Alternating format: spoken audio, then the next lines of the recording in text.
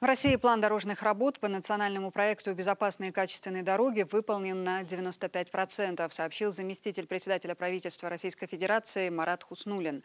В игре ремонтный сезон также близится к завершению. В этом году запланировано привести к нормативу 42 километра автомагистралей. Укладка верхнего слоя покрытия выполнена в полном объеме. В эксплуатацию принято более 85% от общего числа объектов.